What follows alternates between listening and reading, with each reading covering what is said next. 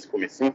Você tem que assistir tudo gravado só para no começo, mas Miguel já pode começar assim, Miguel, os dois minutinhos. É, vou às 16h05, então a gente começa. Acho que não compromete tanto o conteúdo. E aí, se alguém tiver tendo alguma dificuldade aí para entrar, já consegue ajustar tudo.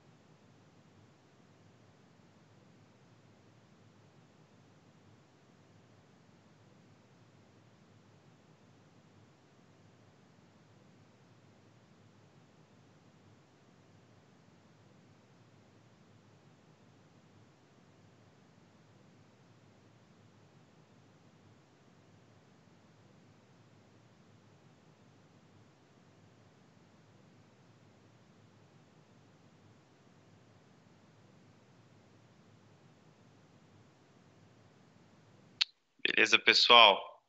Então agora vamos lá começar oficialmente. É, Para quem chegou um pouquinho depois, é só importante se manter com o microfone fechado por agora.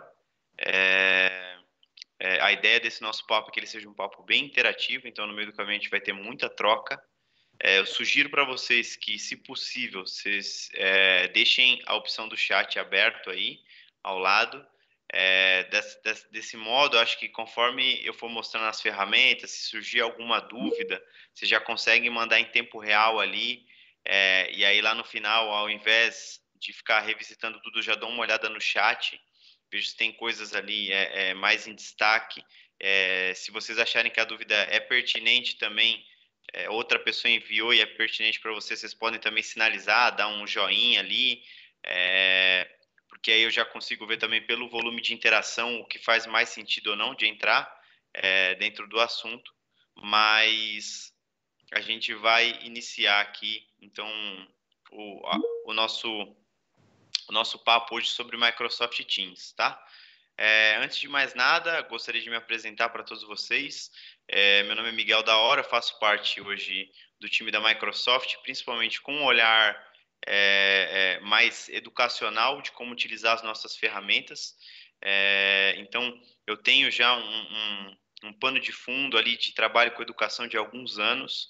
Comecei bem novo nisso, de uma maneira bem informal, do dou aula desde os 14 anos, dava aula de robótica dentro da periferia, e através disso acabei entrando dentro da educação formal, é, sempre trabalhando muito com tecnologia. Já trabalhei é, em escolas públicas, em escolas privadas, já trabalhei dentro de startups, dentro de grandes empresas e também é, desenvolvendo projetos relacionados com o poder público.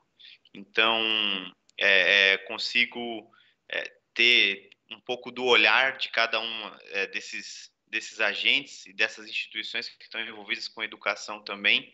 E a ideia é, aproveitando já essa caminhada, tentar identificar é, e aproximar mais os melhores usos das ferramentas Microsoft para o contexto educacional é, que vocês estão vivenciando aí no dia a dia.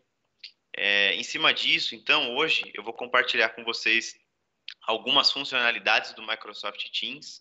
É, eu não sei é, o nível né, de, de, é, de interação que vocês têm no dia a dia, de familiaridade que cada um aqui tem com o programa. Então, algumas coisas vão poder parecer bem básicas para uns, é, mas acho que é, importante para outras pessoas. E, e aí eu queria pedir também é, um, desculpas adiantadas para vocês, porque acredito que pode acontecer em algum momento ou outro aqui da demonstração que o programa apresente algum erro. É, a, a, gente está recebendo um, um, pacote grande de atualizações agora no mês de setembro, nessas últimas semanas de setembro, de outubro do Microsoft Teams. E aí, para não comprometer o produto de vocês, geralmente a gente faz sempre dentro de casa. Então, eu tive uma reunião agora mais cedo com o time de produto também do Teams, é, que esse eu acho que é o lado bom da conversa, né? Deixar claro para vocês é, que aqui dentro da Microsoft, no nosso time educacional, a gente tem um contato muito grande também com o time de produto do Microsoft Teams. É, isso, isso significa que existe sempre um caminho aberto para a gente trazer é, nosso ponto de vista, as nossas dores. É, o time de produto do Teams em específico é um, é um time que gosta de se colocar sempre é, é, no papel de dar voz a quem utiliza a mesma ferramenta. Então, é, no decorrer aí do caminho da utilização, tudo que vocês sentirem de, de dor, de problema, de novas necessidades, de algo que pode ser mais potente também, tem esse caminho é, aberto é, para a gente trabalhar com essa questão é, de melhoria do, do produto. Só para ter certeza, pessoal, alguém falou ali de microfone, é, é o meu microfone está baixo. Vocês estão me ouvindo bem? Dá um okzinho ali no chat só para. Tá. Beleza. Acho que então se tiver algum problema de áudio deve ser especificamente aí no computador. Então, e aí eu vou mostrar hoje para vocês uma conta de demonstração, né? Por isso ela pode ter hoje alguns, dar algum, algum probleminha ali, algum pane, mas eu acho que está tudo ok, porque tem alguns ambientes que já estão pré-configurados, né? É, vou compartilhar minha tela aqui com vocês.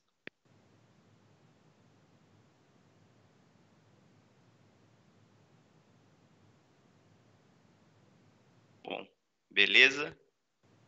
Estou é, aqui dentro de um, de um ambiente agora do Microsoft Teams. Para quem acabou de chegar nesse mundo, nunca ouviu falar do Teams, o Teams é uma das ferramentas que a gente tem hoje dentro do pacote do Office 365, tá? Então, quando vocês acessarem lá o, o link do portal.office.com, que é o link onde vocês conseguem ver todas as ferramentas, vocês vão dar de cara com o Microsoft Teams aqui também, é, no meio das ferramentas que geralmente são mais habituais para a gente, tipo Word, PowerPoint, Excel.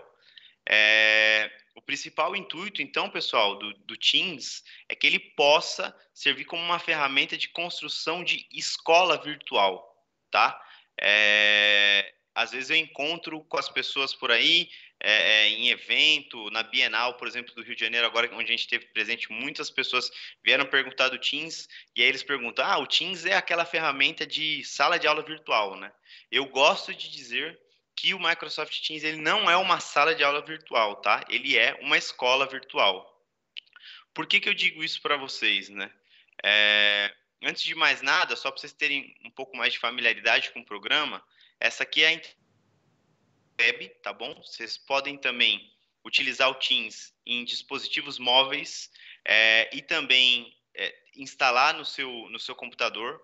Então, você pode instalar no seu Windows, você pode usar ele no seu Android, você pode usar no iOS, é, você pode usar na web nos, nos, nos, maiores e mais utilizados navegadores. O Teams funciona em todas essas plataformas, tá? É, a interface que a gente está vendo aqui agora é uma interface específica do Microsoft Teams para educação, tá? O Microsoft Teams, ele é uma ferramenta que a gente chama hoje, né, de Modern Workplace, né, ambiente de trabalho é, moderno, que basicamente são é, é, ferramentas que ajudam a gente a melhorar o nosso desempenho, agilizar o dia a dia de trabalho, né? Então, o Microsoft Teams, ele nasce como uma ferramenta com esse intuito. Então, ele, ele atua também muito, é, ele, ele é muito utilizado em instituições, empresas, indústrias, é, mas ele tem uma versão específica, uma roupagem específica para a educação, e é isso que a gente está vendo aqui hoje, tá bom? Dentro dessa área, a gente costuma falar que esse cantinho aqui, ó, onde a gente está vendo o feed agora, é, é, a área, é a minha área, tá? Então é onde eu vou acessar os meus canais, ver as minhas atualizações e etc. As áreas que aparecem aqui ao lado, ó, onde mostra a minha aba de conversa de arquivo, onde mostra a própria interface de conversa, ela é uma área é, que a gente costuma de falar, chamar de nossa área, que é onde a gente interage com outras pessoas também, é, seja por chat, seja em arquivos, enfim. E aqui no lado a gente tem a barrinha do, da ferramenta, né, que é onde tem as principais funcionalidades. É, geralmente, quando a gente começa então o nosso tour dentro do Microsoft Teams, a gente vem aqui para a área de equipes, porque é aqui que a gente começa a configurar o nosso ambiente de trabalho virtual. É, então, o primeiro passo que a gente vai sempre tomar é criar uma equipe, tá? Ou ingressar numa equipe. E aí é por isso que eu, que eu digo para vocês que eu gosto de chamar o Teams de, de escola virtual e não de sala de aula. Por quê? Primeira coisa que eu posso criar aqui é uma sala de aula, tá? Mas tem outros recursos que eu posso criar também. Por exemplo, eu posso criar uma, uma comunidade para os meus professores, uma sala dos professores virtual. Eu posso criar também um ambiente da minha escola, se eu quiser, eu crio uma secretaria virtual aqui, ou então eu posso criar é, é, um grupo que seja mais orgânico, que faça sentido mais é, no meu contexto escolar, mas não, não, não é nenhuma das estruturas anteriores. Então, por exemplo, se na minha escola eu tenho o Grêmio, eu crio aqui. Se na minha escola eu tenho um clube de ciências, eu vou usar essa estrutura aqui. É, e aí, dentro desses ambientes, a gente constrói interação pensando nos públicos, né? Então, geralmente, classe, sala de aula é o ambiente para a gente conectar professores e alunos. Aqui são professores, às vezes coordenadores, gestores, às vezes só professores e professores. Dentro de equipe, a gente põe sempre administrativo, podendo ter a interação também de profissionais como um todo. Então, aqui também é um espaço onde professores podem interagir. É, as, aqui, com uma final, na, na, em termos de classe, né, de sala de aula, é, de sala de professores, é mais com um olhar pedagógico, tá? Na área de equipe é mais uma coisa de, ah, eu tenho que enviar as notas, eu tenho que enviar as presenças. A gente consegue facilitar isso dentro do, do ambiente virtual também. É, e aí, por que, que eu comento é, de, desses ambientes? E, cara, ah, por que, e qual é a diferença que tem dentro deles? Quando a gente cria uma qualquer ambiente aqui, eu vou criar uma classe, tá? Para a gente dar uma olhada. Vou criar uma classe teste, ó. É, ela vai vir com uma pré-configuração, tá? Então eu não coloquei nenhuma descrição, só botei aqui para o próximo passo. Eu posso adicionar alunos, então uma vez que eu tiver pessoas já inseridas dentro do meu domínio, pessoas que estão lá é, dentro da, do, do, nosso banco de dados da escola, da rede, é, eu consigo puxar as pessoas diretamente, não tenho que colocar e-mail, enfim, aqui eu estou fazendo na mão, né? Mas existem processos automatizados para fazer isso também, tá? Não se assustem. É, eu consigo começar a convidar pessoas aqui para a minha sala de aula, eu consigo falar depois quem vai ser professor. No caso aqui, eu não vou adicionar ninguém, vou deixar só eu como professor. É, criei um ambiente, tá? Aqui, como eu criei uma sala de aula, vocês vão ver que eu tenho um bloco de anotações de classe, tá? É, que é basicamente o que? OneNote com uma roupa educacional também. OneNote que já vem com uma pré-configuração, como se ele fosse um caderno virtual para o nosso aluno eu posso configurar o meu caderno. Aqui ele vai explicar é, as três áreas que já vêm configuradas no caderno, né? Então é o espaço de colaboração, que é um espaço onde professor e aluno postam e interagem com conteúdos, biblioteca de conteúdo, que é um espaço onde o professor joga conteúdo e os alunos só vão é, conseguir consumir esse conteúdo. E o bloco de anotações do aluno, que é o quê? É um caderno individual de cada aluno. É, o professor consegue ter uma visão, se ele tiver 40 alunos, ele vai ver 40 nomes lá, mas o aluno, ele só consegue ver o próprio caderno. E aí, além disso, eu consigo dizer é, quais outros cadernos que são interessantes para mim ter dentro desse, desse caderno virtual, dentro desse OneNote, né? Então eu posso colocar aqui, se eu sou um professor que gosta de dar, sei lá, crédito extra, é, uma área onde eu vou lançar, sei lá, quizzes para os meus alunos e aí é, eu posso dar uns pontinhos a mais para eles. E mando criar esse caderno, tá? Isso aqui vai levar um tempinho, mas enquanto isso, vou mostrar outra equipe para vocês, ó. Eu tenho, por exemplo, a equipe de professores de ciência. Na minha equipe de professores de ciência, a gente já tem um, um caderno diferente, tá vendo? Ó, bloco de anotações de PLC, né? Que é do ambiente de aprendizagem para educadores. E aí, a estrutura que esse caderno vai ter é uma estrutura mais pensada no professor, num ambiente onde ele pode colocar nota, um ambiente onde ele pode é, organizar as, as provas dele. Então, ó, é uma coisa mais focada no trabalho do dia a dia do professor. Essas configurações, elas já estão dentro do Microsoft Teams, tá? Educacional. Então, uma vez que você cria isso, é, o seu professor a essa versão aqui. É, eu acho que eu tô com um pouco de retorno, pessoal. Não sei se alguém deixou o microfone aberto.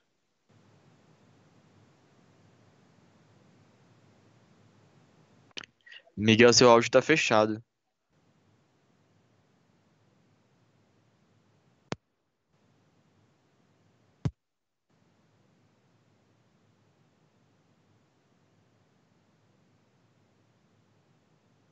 Pessoal, alô? Agora vocês conseguem me ouvir? Tá, eu acho que alguém. Eu fiquei muito tempo fora, que eu acho que alguém me silenciou.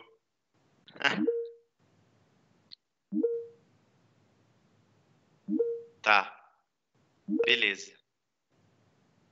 Seguinte, então o que eu, a única coisa que eu estava comentando aqui é que eu deixei o caderno lá de alunos criando Agora estou mostrando para vocês um caderno de professor, que ele já vem com uma configuração inicial um pouco diferente é, da configuração do aluno. Ou seja, lá no começo, quando eu gero a minha equipe, o Microsoft Teams ele já vai dar algumas estruturas mais pensadas para os diferentes perfis de profissional ou de, de, de, interator que eu posso ter aqui no, na, minha, na minha plataforma. Então, por exemplo, ó, cara, aqui é uma, uma área onde eu posso colocar é, é, questão mais de normas, de planejamento, etc. O caderno do professor, na área do professor, ele já vai vir é, mais com formato mesmo de trabalho de dia a dia de professor. Então, isso aqui facilita muito quando a gente fala do que, cara, de uma gestão de um volume grande de alunos, né?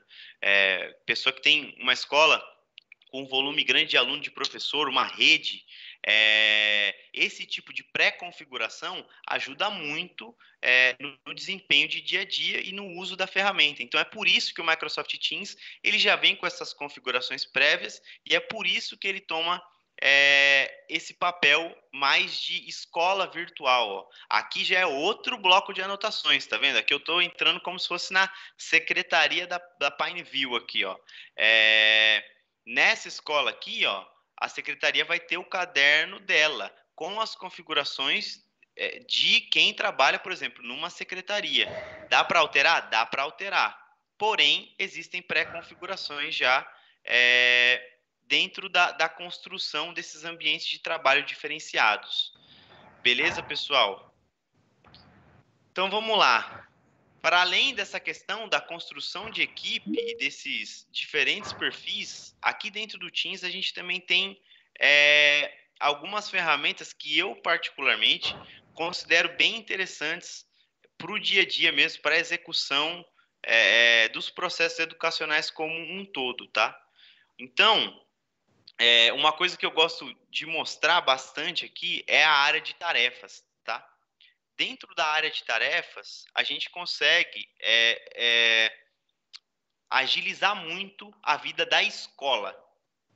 Da escola, vocês vão entender por quê, mas aqui não é especificamente do professor. O professor, na minha visão, graças a Deus, se tiver um professor aí, acho que você vai pensar igual, é muito bom porque você ganha muito tempo. Na hora de, de lançar atividade, na hora de corrigir prova, é, na hora da no a nota já vai automaticamente para o sistema. Então, tipo, isso aqui já facilita muita coisa. Mas, ó, vamos lá. Aqui já tem algumas atividades criadas, mas eu vou abrir uma nova aqui para a gente conhecer a ferramenta um pouquinho melhor, tá bom? Quando eu ponho aqui para criar uma tarefa, ele vai me perguntar qual que é o nome dessa tarefa. Então, ó, vou pedir uma redação sobre blá blá blá. Posso adicionar uma categoria aqui. É, isso aí vai estar mais relacionado com o contexto de cada escola, tá? É, pode ser, sei lá, trabalho individual, trabalho em grupo. Isso serve mais para esse tipo de organização. Eu posso pôr instruções aqui para o meu aluno entender bem como executar aquele trabalho. Aqui, ó, tem a opção de eu adicionar recursos, né? O que é adicionar um recurso? Eu posso colocar um arquivo aqui. Por que, que eu faria isso? Cara, se eu quero que o meu aluno desenvolva um trabalho com uma estrutura exata, o que, que eu faço? Eu ponho esse arquivo ali. Então, eu posso anexar, sei lá, um PowerPoint, um Word, onde tem a estrutura que eu quero, as perguntas estão lá e o aluno vai só responder, e o aluno vai ter acesso a esse documento na hora de, de preencher, na hora de realizar o trabalho dele. E aqui, para mim, é a parte que eu mais gosto da ferramenta, né? Que é a questão da lista de critérios de avaliação, tá? Como é que funciona essa ferramenta aqui? Dentro da ferramenta de critérios de avaliação, você pode criar é, algumas categorias de como avaliar. Então, por exemplo, redação, né? Eu pedi uma redação ali, vou pedir uma redação para a minha turma. No caso de pedir uma redação, cara, tem uma escola gigantesca, tá cheia de professor, não sei o que lá. Cada professor está avaliando de um jeito, eu percebo que. O eh, que, que eu faço? Ah, quero que a minha escola tenha um padrão, cara. Quero analisar melhor como é que as coisas estão acontecendo. Eu acho que tem um caminho certo. Então, o que, que eu vou fazer? eu dou uma olhada lá em como é que funciona a redação do Enem. Eu venho aqui, ó, crio um, um critério de avaliação chamado redação do Enem, é, ou então, ó, redação para vestibular. E aí, é, posso pôr uma descrição aqui, ó, dizendo, ó, pensando no formato de redação do Enem, a escola tal resolveu criar esse critério de avaliação. Eu adiciono um, uma pontuação nisso aqui, então, ó, agora é, ele vai até adicionar uma porcentagem aqui. Antes de eu ligar, ele não tinha aquela porcentagem ali embaixo. Ó. E aí o que acontece? Eu ponho aqui, ó, estrutura textual.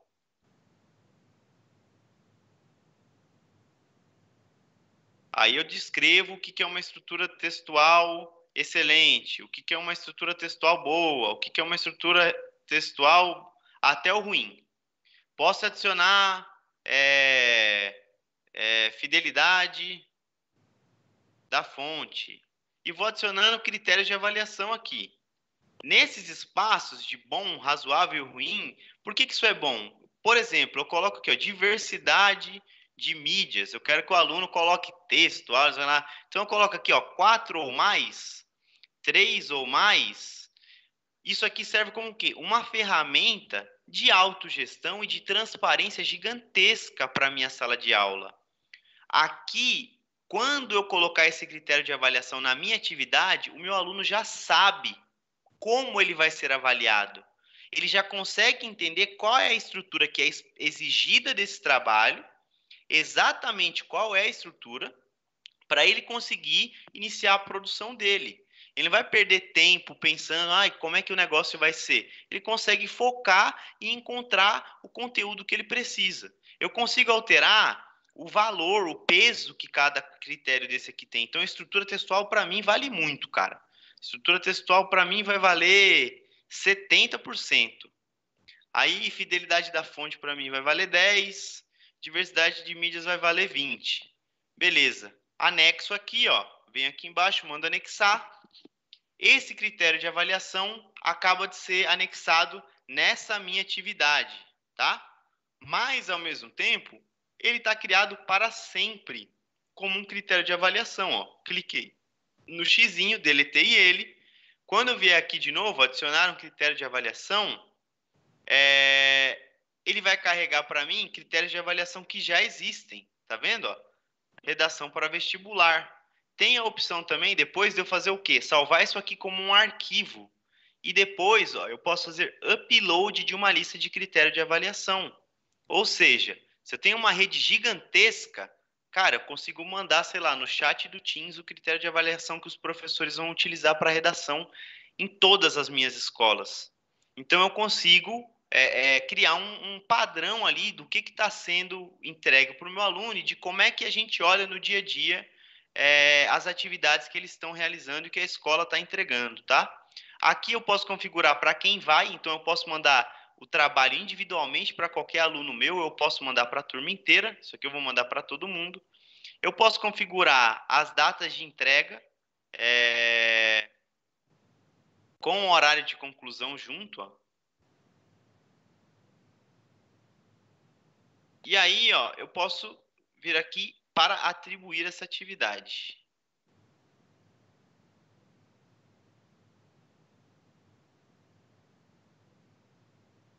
Agora, deixa eu achar essa atividade aqui no meio dessa muvuca de atividade. Ó. Atribuídas. Porque, só para vocês entenderem, a gente vai ver agora eu vou abrir qualquer uma dessas daqui, tá bom? Aqui, ó, redação sobre blá blá blá, achei. É, vou pôr aqui ó, na visão do aluno, tá?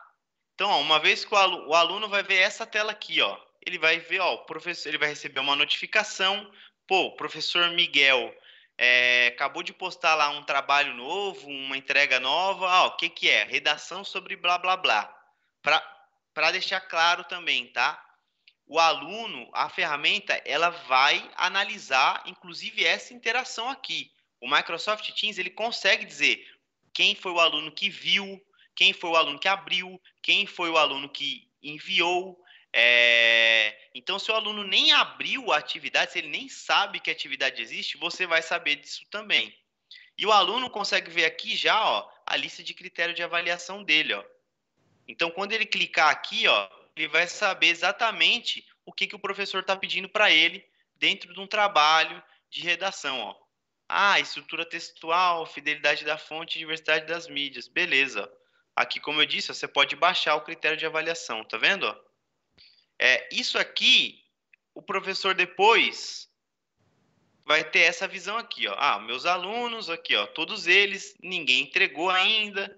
É, uma vez que o, o aluno entrega, ele vai ter a visão do arquivo aberto aqui, seja um PowerPoint, seja um Excel, seja um Word, é, onde está mostrando aqui nenhum trabalho anexado, o professor veria esse trabalho, passou para o lado aqui, ele vai vendo o trabalho de cada aluno, clicou na lista de critério de avaliação, ele abre uma interface de avaliação simplificada aqui, ó, que facilita o trabalho. Então eu li o trabalho do aluno, putz, a estrutura textual tá boa. Beleza.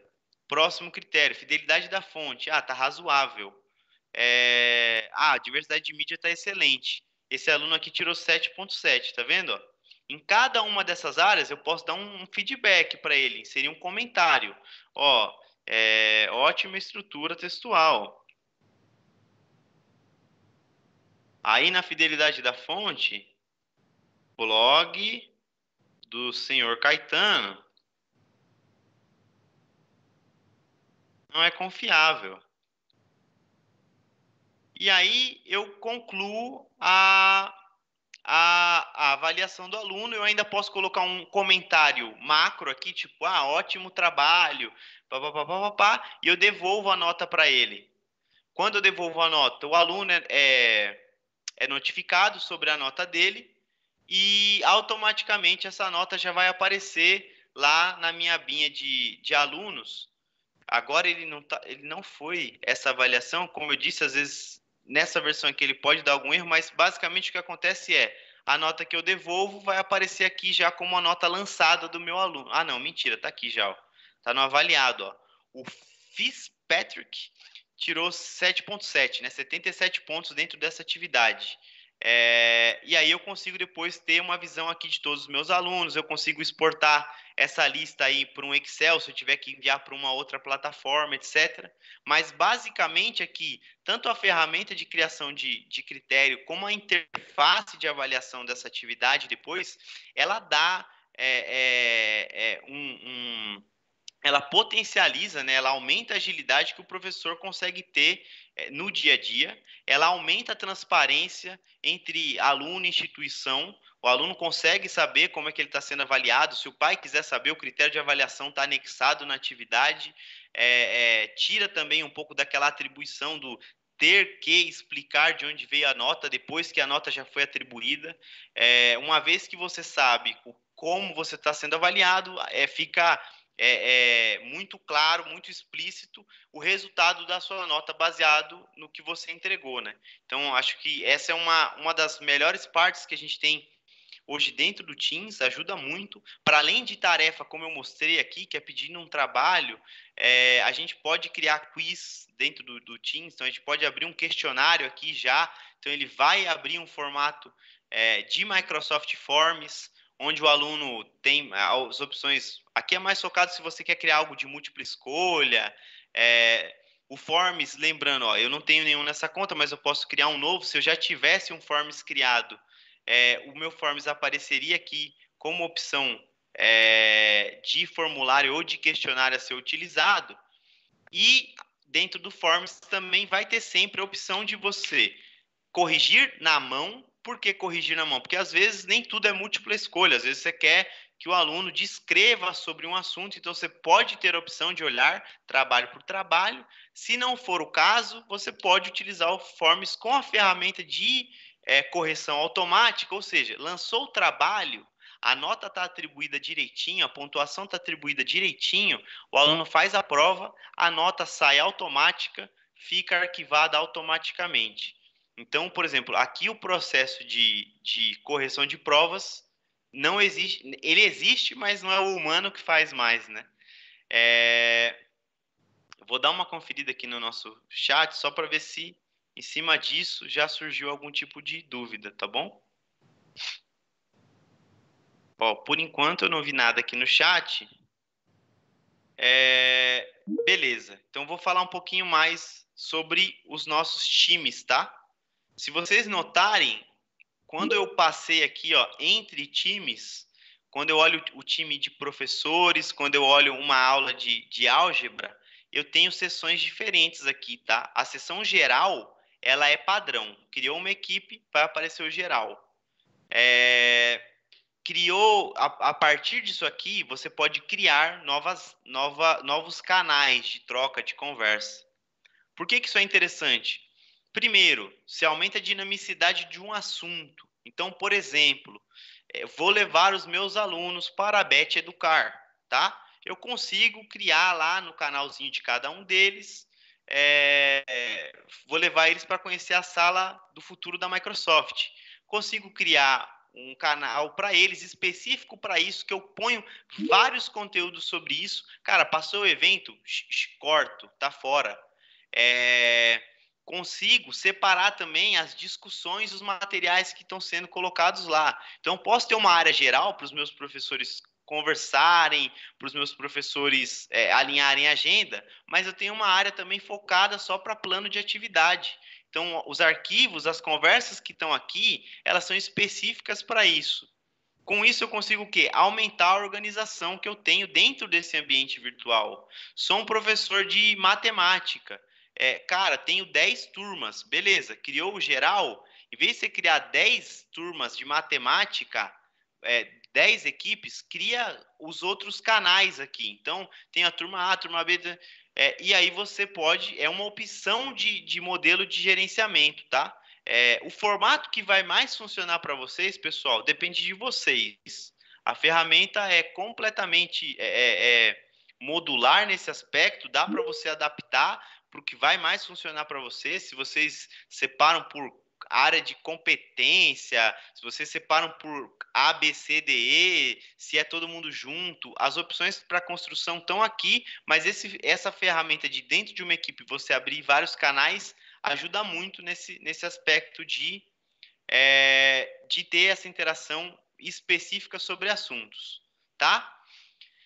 Uma vez que a gente está aqui dentro, esse menuzinho aqui de cima também, ele serve para você conseguir navegar nas coisas relacionadas a este canal, tá bom? a parte de conversas, para que, que ela serve? Aqui é uma área onde você pode se comunicar com toda a sua turma. Então, aqui, uma vez que você manda uma mensagem, vai para todo mundo que está dentro desse canal. Ó, eu atribuí uma atividade, ó, redação sobre blá blá blá, ela veio para o canal de conversa de álgebra. Por quê? Porque isso aqui é para todos os alunos. É... Se eu quiser depois me comunicar é, de maneira privada com alguém, se eu quero falar um para um, eu venho aqui na ferramenta de chat, chamo alguém, a pessoa com quem eu quero falar, e aí eu consigo ter é, um espaço de troca individualizado, é uma coisa é, de um para um.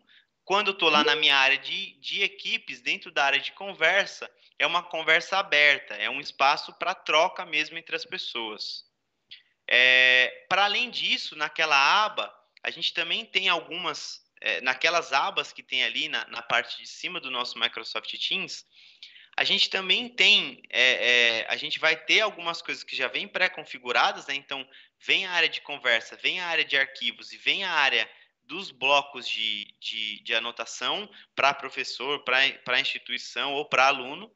É, e também depois é, vem a opção de você adicionar novas coisas. Eita, o meu navegador travou, eu acho. Destravou. É, então ele tem a opção de você adicionar novas coisas ali nas abas superiores. Quais são as coisas que você pode adicionar nesse, clicando nesse maisinho aqui, né? Você adiciona uma nova guia.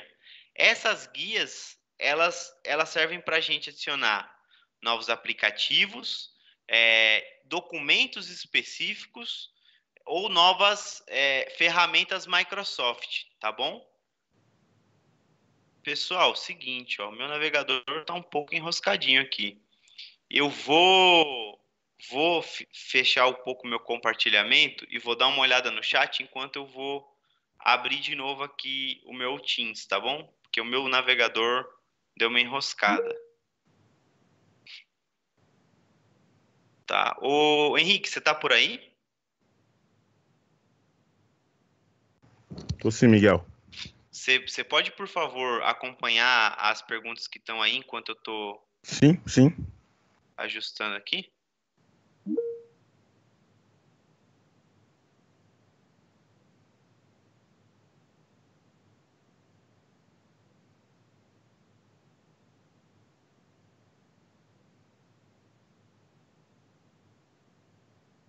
Ah, tá. Beleza. Ó, perguntaram aqui sobre é, adicionar um YouTube lá na guia, tá? Um vídeo do YouTube. Como é que funciona? Como eu comentei agora há pouco, quando a gente adiciona uma guia nova, pessoal, a gente está adicionando a ferramenta, tá? Então, quando alguém adiciona, aqui voltou para mim já, tá? Eu vou compartilhar minha tela de novo, porque vocês já veem em tempo real.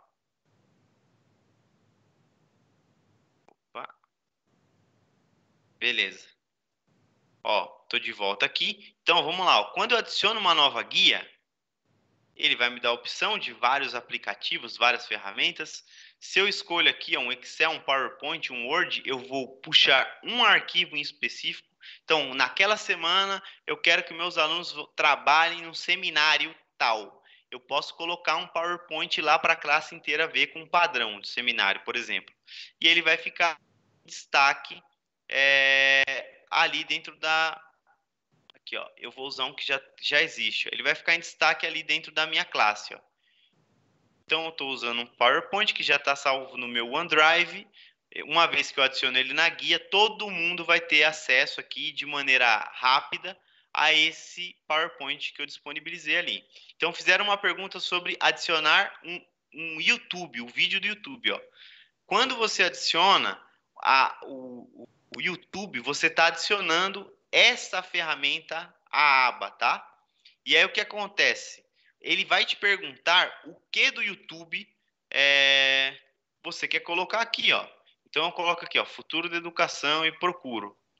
É, toda vez que alguém é, toda vez que alguém vier aqui e readicionar essa guia, é como se ele estivesse colocando o YouTube de novo.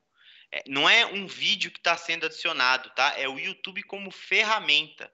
É, e aí, automaticamente, o conteúdo que uma pessoa escolheu vai sobrepor o da outra, tá bom? É, nesse caso, tem outros caminhos que podem ser é, utilizados. O professor pode criar uma aba de YouTube dentro do caderno do aluno, o professor pode enviar o vídeo direto no chat, é, tem outros caminhos, mas especificamente usando essa ferramenta, acontece isso porque você está repondo a ferramenta em si, tá? É, mas para além disso, pessoal, tem outras várias ferramentas que podem ser adicionadas. Sei lá, se a sua escola faz um, um, acompanhamento ótimo de dados, você consegue colocar um Power BI aqui dentro. Você consegue ter, entender através do Power BI quanto seus alunos estão interagindo ou não com o Microsoft Teams. É, essa parte o Rafa aí do nosso time, que é mais técnico, pode ajudar vocês, mas existe essa opção é, de vocês conseguirem fazer um track de como é que está sendo a interação do seu aluno dentro da, da, do seu ambiente virtual, utilizando o Power BI ali anexado à sua sala, tá? É, aqui rolou uma pergunta sobre o recurso de tarefas. Exatamente, exatamente a, o recurso de tarefas ele não ele não é, é ele não é específico é, para envio só para alunos, etc. Tá? Porém, o que, que acontece? Quando você gera os ambientes é, é virtuais para específicos lá, que eu comentei no começo, uma sala de aula, lá, ele vai trazer recursos diferentes, tá? Então, quando eu crio aqui um ambiente do meu professor, é, vocês vão notar aqui, ó, eu tenho conversas, arquivos, bloco de anotações e psh, acabou, a tarefa não está aqui, tá? Então, geralmente, o que, que a gente, o que, que a gente é, faz quando é pensando no, no administrativo, pensando no corpo docente? A gente costuma adicionar aqui o planner, tá? E aí, através do planner, a gente faz a gestão das atividades que tem que ser feitas pelos professores, pela galera de secretaria. Então, é, eu crio aqui um novo é, plano de trabalho, adiciono isso aqui. E aí você, o planner ele é basicamente uma, uma ferramenta de gestão de tarefas, tá? É, não tem o mesmo formato que a gente tem em sala de aula, de entrega um arquivo, etc. Mas aqui dentro você pode adicionar novas tarefas. Então, assim, ó, é lançar, vamos supor, né, que se fosse outra ferramenta que não lança nota sozinha, vou pedir para a galera lançar nota. Então, eu posso aqui, ó, adicionar uma tarefa de lançar nota, puxar todos os meus professores, ó, é, e aí adiciono uma tarefa específica é, para um grupo que eu quero, tá? É, quando a gente está falando de grupos de trabalho administrativo de professor, a gente vai por esse caminho, utilização do planner. O que, na minha visão, é, eu acho bem mais proveitoso, tá? Eu utilizo é, é, ambiente de trabalho moderno há alguns anos já, diversas ferramentas. Acho que no dia a dia a gente também já ficou familiarizado com algumas, Trello, por exemplo. É, e, e, são ferramentas que ajudam, que dão agilidade ao desenvolvimento das tarefas. Né? E no caso do professor, como ele gera. Estou ah, dando exemplo do professor, tá? Mas acho que para os outros agentes da escola, todos é a mesma coisa. Mas como, como nunca é específico, como nunca é sobre uma turma, é, você ter uma ferramenta para gestão de tarefas ajuda muito, porque são múltiplas tarefas acontecendo ao mesmo tempo, e aí você consegue ter uma visão ali é, é, mais abrangente de todas elas é, e do desempenho que você está tendo em relação a cada uma também.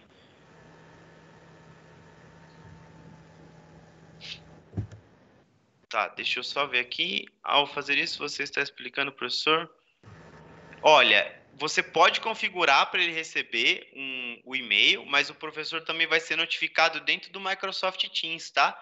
Então, é, se você permite as, as, as, notificações, elas aparecem no cantinho da tela para você, elas aparecem na área de atividade aqui, ó, é, dizendo quais foram as últimas atividades que aconteceram relacionadas aos ambientes do quais, dos quais você faz parte. Então, tem múltiplas maneiras do professor ser avisado de que uma tarefa foi atrelada a ele, tá? Pessoal, acho que tem algum microfone aberto, sim. E é, é dúvida?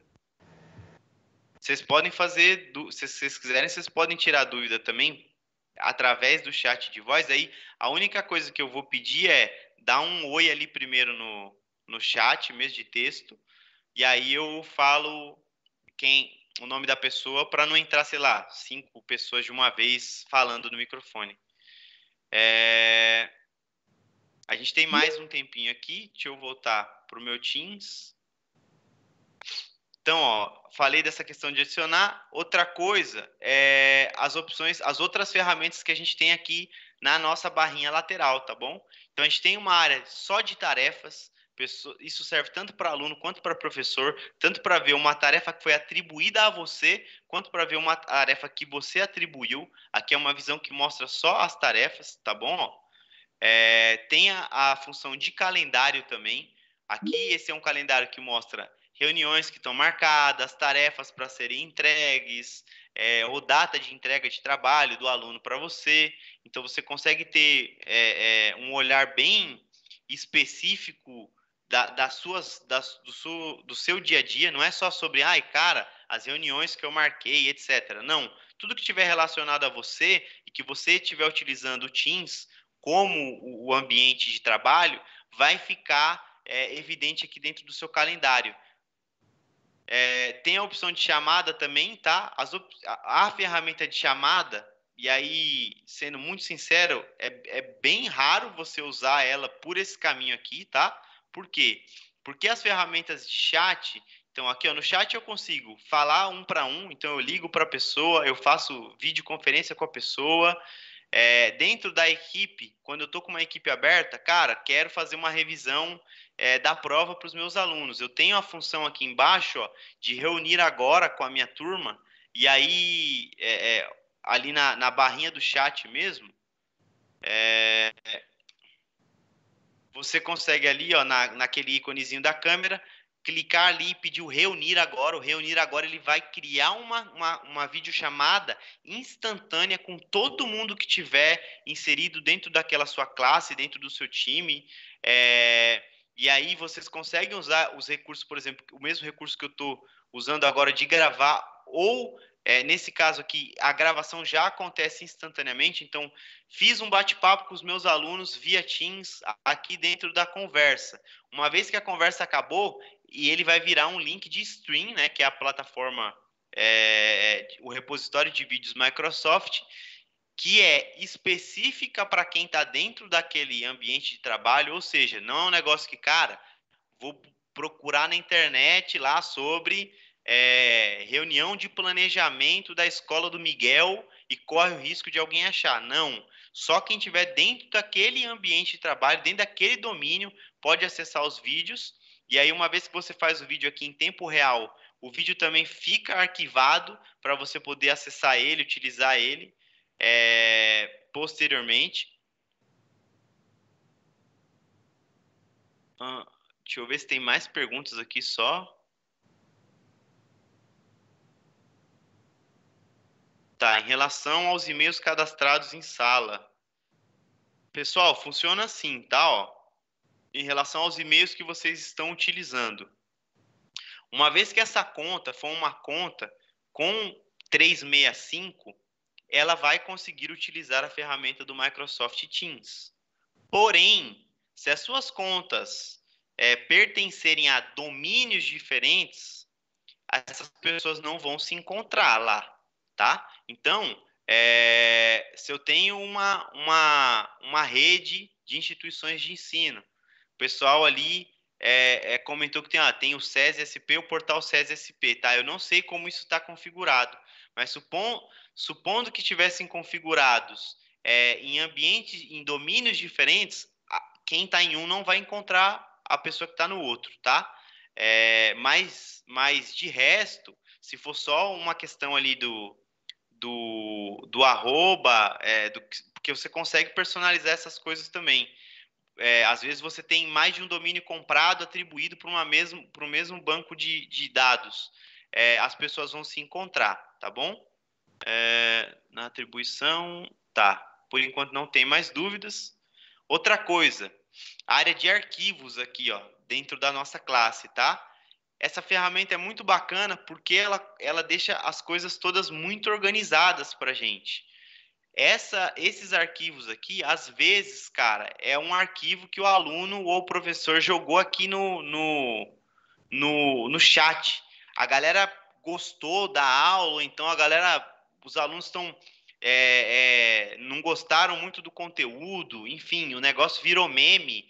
Dá para mandar GIF aqui também no chat. O aluno vai lá, manda um GIF, aí o negócio vira meme, todo mundo começa a conversar, o arquivo vai embora. Você consegue depois é, ir na sua área, é, na sua aba de arquivos e, e ver só os arquivos que estão, que fazem parte ali do OneDrive, é, do, seu, do seu banco de dados dessa classe aqui, tá? Então essa ferramenta ela é útil principalmente para você conseguir ter organização dos arquivos que estão transitando dentro da sua classe, tá?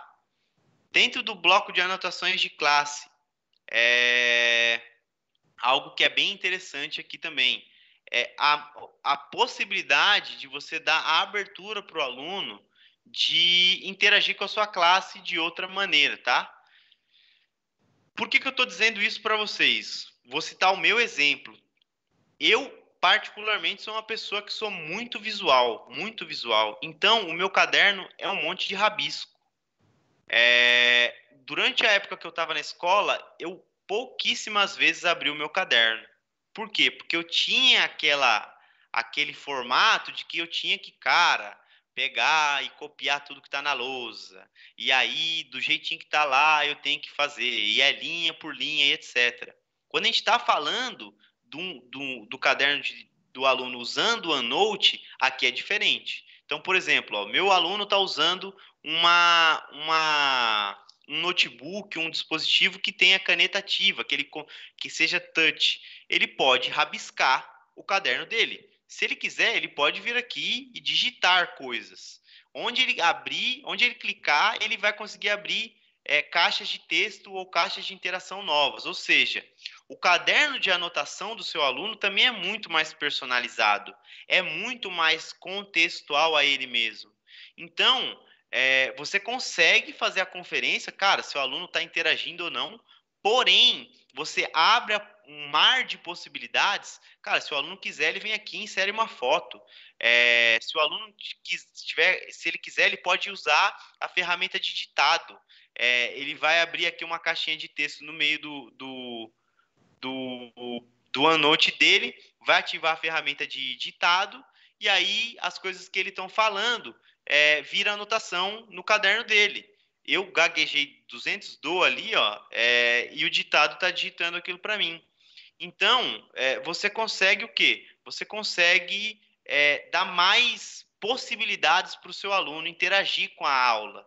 É, num momento como o que a gente tem vivido, de sociedade discutindo, quarta revolução industrial, mudanças de futuro, é, como é que a gente leva mais aprendizagem para dentro da sala de aula, é, é liberta formatos para os alunos, ter uma ferramenta que dá mais possibilidade para o seu aluno interagir com a informação, informação não falta mais no mundo, tá? A gente tem hoje que ajudar principalmente os nossos alunos ao quê? A interagir bem com isso. Então, ter uma ferramenta que ajuda o seu aluno a interagir do, formato que faz mais sentido para ele é crucial é, para a gente discutir modelo de, de, de, trabalho, modelo de ensino moderno ou pensado nos ambientes do futuro, né? Então, acho que, pessoal, nosso tempo está finalizando. É, eu tenho um convite ainda para fazer para vocês, é, antes da gente finalizar o papo. Eu vou encerrar aqui, ó, é, o meu, antes de eu encerrar o compartilhamento, alguém tem alguma dúvida ainda de ferramenta? É, vocês querem perguntar alguma coisa? que vocês acham que pode ser interessante de eu mostrar ali. Tal, não, não rolou interação. Qualquer coisa eu abro a tela aqui de novo. É... Finalizei aqui, ó. Eu vou mandar um link para vocês, pessoal, é... sobre outro bate-papo que vai ter é, de Microsoft Teams, tá bom? Esse bate-papo de Microsoft Teams ele vai ser realizado pelo time de produto de micro, da, da Microsoft focado no Teams, é, mais com o olhar de educação. Por que, que eu estou passando isso para vocês é, agora, né? Porque, é, como eu disse para vocês, né? Aqui a ideia do nosso papo era o quê? Dar uma visão geral, tá? É, uma vez que é, essa visão geral é compartilhada, putz, vai surgir dúvida. Eu vou querer me aprofundar numa coisa, eu vou querer abrir o Teams e testar.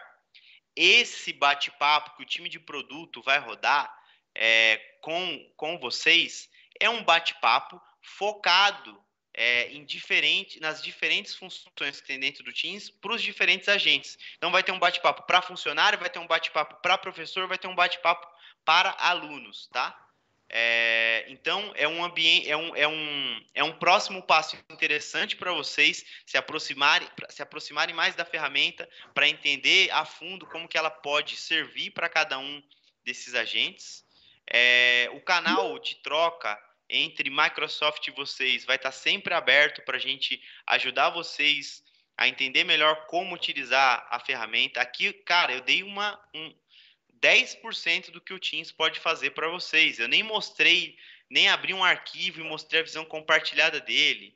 A gente hoje na Microsoft não trabalha só com essa ideia do trabalho colaborativo, mas o colaborativo acessível. Então, a gente tem ferramentas de acessibilidade é, dentro de da maioria das nossas, das nossas ferramentas e soluções. Então, hoje, tem ferramenta de acessibilidade dentro do Teams, tem dentro do OneNote, tem no PowerPoint, tem no Word, tem no Minecraft, tem no nosso navegador é, do Windows 10, o Microsoft Edge.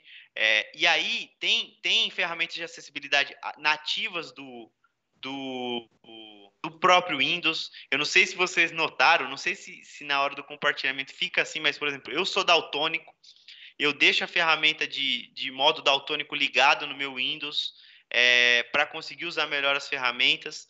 E essas ferramentas de acessibilidade, elas, elas constroem uma simbiose com o compartilhamento. Ou seja, cara, se eu tenho um aluno que precisa de, de, de, do uso da ferramenta da linha de foco, e ele deixa essa ferramenta ligada, o aluno vai ver aquela interface para o mesmo documento. Se eu tenho um aluno que é daltônico e liga o modo daltônico, ele vai ver a mesma interface. Então, às vezes eu vou ter 10 alunos interagindo num mesmo documento, só que como as ferramentas de acessibilidade são complementares aos nossos ambientes de trabalho colaborativo, são 10 interfaces únicas cada um está vendo de um jeito, cada um está vendo com um contraste, com uma cor de fundo, com uma ferramenta ligada, com a outra desligada. Então a gente consegue hoje, é, dentro do Teams, por exemplo, proporcionar um ambiente de trabalho que, para além de colaborativo, é acessível, é inclusivo para as pessoas.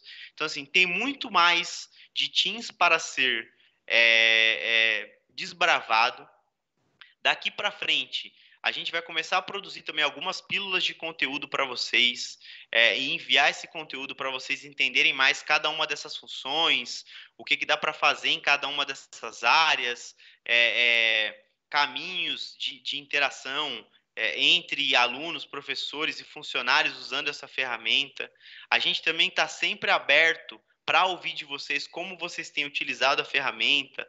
É, eu, por exemplo, Estou aqui na Microsoft, eu gasto muito tempo da minha vida lendo sobre as ferramentas, e aí tem muita gente que, pelo contrário, gasta muito tempo do dia a dia de trabalho usando a ferramenta e descobre, cara, usos que às vezes nem a Microsoft conhece.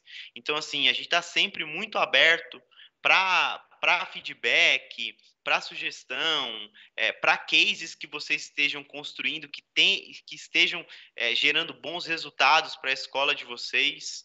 Então, acho que o canal fica aberto, novos conteúdos estão chegando, já tem uma nova agenda aí sobre Teams para quem quiser se aprofundar é, um pouco mais sobre isso. Agradeço a participação de todos vocês. Acho que o Henrique também, se quiser fazer alguma fala final aí é, é, para as pessoas que estiveram presentes.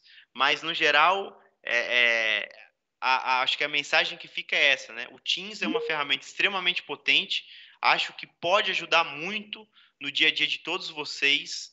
É, no meu dia a dia de trabalho, seja em educação, seja num ambiente de impacto social, tem me ajudado muito e vou adorar compartilhar as fórmulas que eu tenho utilizado com vocês. E esse acho que foi o primeiro papo de muitos que estão por vir, né? Pessoal, gostaria de agradecer aí, tá? A participação de todo mundo.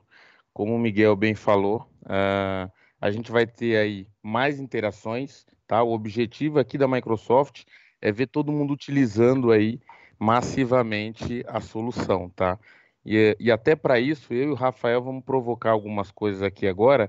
É, quem tiver, ah, poxa, minha instituição aqui ainda não está rodando com o Teams, Henrique. Como que eu faço para implementar isso?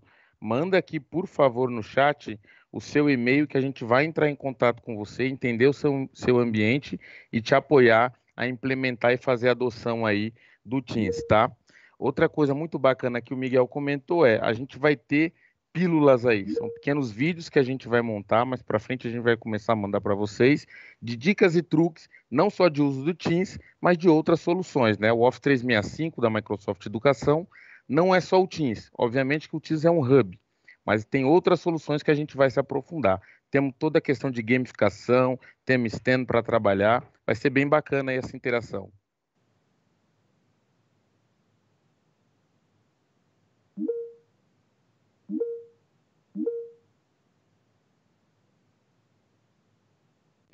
Pessoal aí, ó, é, quem quiser pode mandar o um e-mail aí, ou então o Rafa acabou de mandar ali no, no chat, o Rafael Spinelli, é, o contato dele, o contato do Henrique, o meu contato também. A gente segue aqui sempre aberto é, para o contato com vocês. Mais uma vez, muito obrigado pela participação de todos. É, nosso papo de hoje está finalizando, a gente já passou ali alguns minutinhos, mas é como eu disse, esse é o primeiro papo de muitos, viu? Muito obrigado a todo mundo. Pessoal, aceitamos feedback também, tá? Para ir melhorando aí esse, esses contatos aí. Se vocês acharem que pode melhorar nesse bate-papo, por favor. Obrigado, hein, pela participação de todos.